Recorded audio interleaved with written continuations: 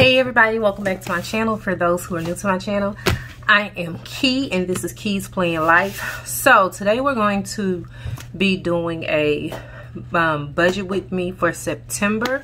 So we're gonna open this and I am using a happy, a big happy planner layout.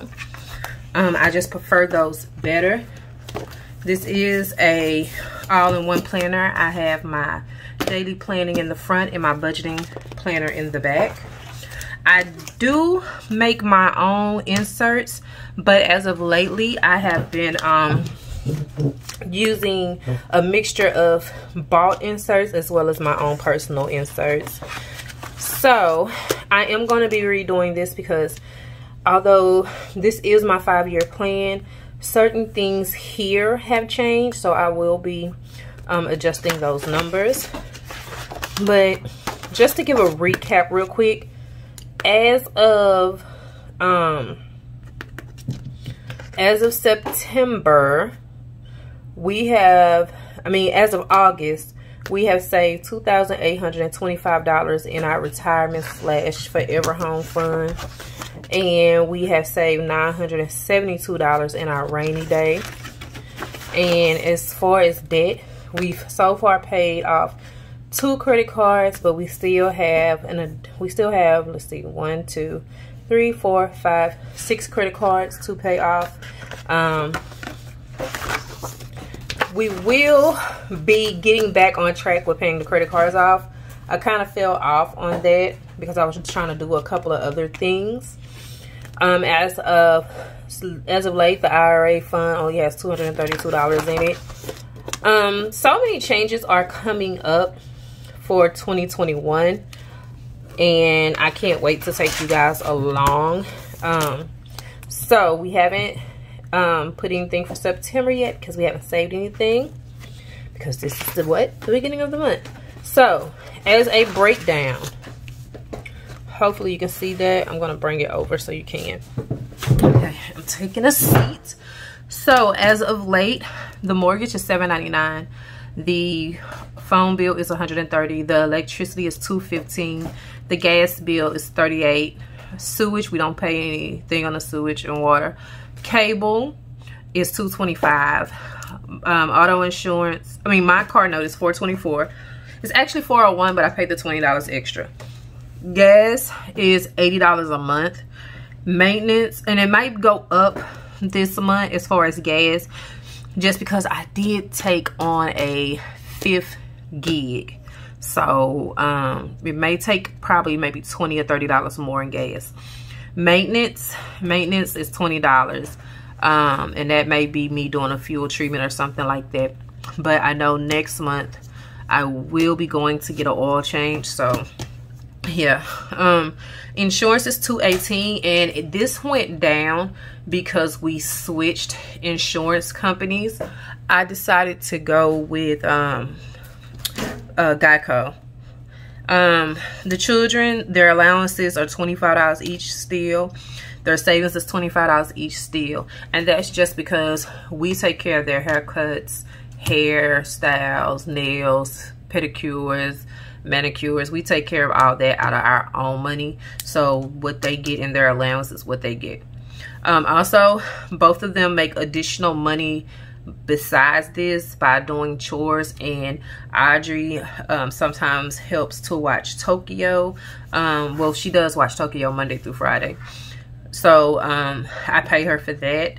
Also, um, sometimes she can't do it and little red will come in here and he'll help out. So i pay him a little something or if i want him to do an extra chore i pay him for that extra chore. Okay so also i have my hair and my nails and that's pedicures that's my nails that is um, my hair how much it costs to get my hair done. This will probably go down this month because it's starting to get a little cooler. And I in the fall months I typically wear wigs and not so much um, braided hairstyles. My hair is still braided under the wigs, but it's not the braids that you would normally see, so it doesn't cost as much. It's just foundation braids. So this number will go down a little bit. Um, I'm going to go back to the basics and get simple nails because I am finding myself paying a hundred dollars a month for nails and pedicures which to me is not bad um but and i don't want to go to a nail tech that's not doing quality work and then i'm still coming back getting my nails done every two weeks. I get my nails done once a month and i think that's pretty good. I think a hundred bucks is pretty good for me getting my hair done once a month because i literally get it done once a month. Um and my hair only gets done every two months. So i think i'm doing good when it comes to that. Massage i have to have my monthly massage. There's no doubt about that. I have to have it. I'm not giving it up. I work five jobs to live the lifestyle that i want to live. I will not give up my massages. Netflix. Netflix um that's a must-have in my house just because everybody in my household watches netflix. I wish they had a yearly subscription thing. I think they do. I'm gonna have to go check it check on to check on that. And if they have a yearly service yearly um, pay service i'm gonna do that instead of paying monthly. I, I find that when you pay yearly instead of paying monthly or annually it's so even annually is cheaper but i find paying yearly is cheaper than paying monthly um credit cards. I plan to pay 287 dollars in my credit cards this month. Retirement i plan on putting 150 up for my retirement. My savings 150 my personal savings 50 dollars. Um hubby's car note 152 these are subscription services such as wig slayers is a group i'm in that i love not giving it up. Kavana YouTube. I have to have YouTube ad-free music. I just have to. Um, I think I have, no, because even my Pandora has ads and my Spotify. So I'll pay that $7 for YouTube. Um, Tokyo's Preventive Care, I pay $48 every month. Um, it's been saving me tons and tons of money considering the fact that he just got neutered, he had to have pain medication, he had to have anesthesia. All that stuff had to be paid for, and I only paid $48 out of the pocket. My tithes, I'll be paying 100 Um, Actual income is $3,263. Total expenses is 3,289. Now, the thing about my tithes is it's definitely going to be more um, I just need to proper, properly sit down and calculate how much more. Now, this is a breakdown right here of everything that has to be done for September. My tire rotations, um, I'm going to reconstruct my budget. Um, I'm planning on getting my car painted. I'm narrowing it down to two colors, so I need to price that my goal is i want to say 400 no eating out for the month of september period um i'm going i'm going to put in 40 hours with grubhub. Um my retirement all that is put right here. My major money goal that's a major money goal. My major money goal is to save $600 also i am entering into the 52 week challenge. And you're probably like, but the year's already up. If you have an app, if you have Play Store or even Apple um, store on your phone, they have apps, 52 week challenge apps, where you can set up the date you want to start. I've set up the date I want to start, which is September, I mean, which is August the 28th. Um, so yeah, I don't go by, oh, I'm going to start the beginning of the year. No, I'm going to start when I need to start. And that's just what it is. So moving on, this is my calendar. Um, and this is just a uh, at a glance look at how everything is going to be paid. Household and utilities are in blue. Savings and ties is in pink. Credit card payments are in orange. Dog care is in green. Um, cash envelopes are in purple. Subscriptions are in red. Also, I don't know why I put this here, but I did. But these are all the things that I need to do for the month of September when it comes to filming. But yeah, I, you ladies have, um, you ladies and you guys have really helped me to be more organized when it comes to um, my bills and what is what. And the color coding definitely helps me get in alliance in alignment with what needs to be paid on what date what it is. So if i see that i if i see any writing in blue i automatically know if it's, it's a bill. If i see anything in orange i automatically know that hey this is a credit card payment that's due on this day um so i want to thank the budgeting community um and the planner community for this because you and when you're budgeting you 90 95% of the time are using a planner to budget out of. So thank you for the in the information. Is very much appreciated.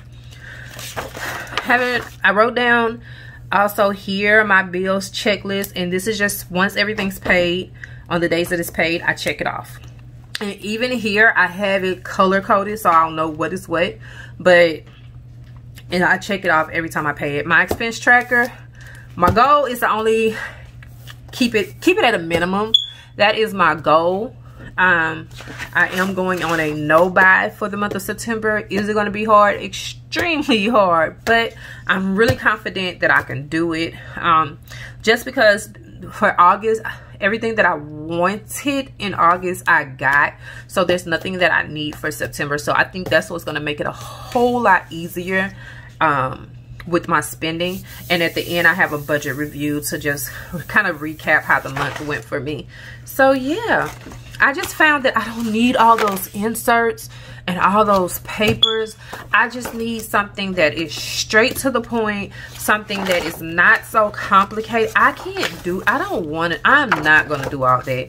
Um that was uh August um budget. Y'all we're not gonna even talk about August's budget. I went i went in. So i'm going to get out of here.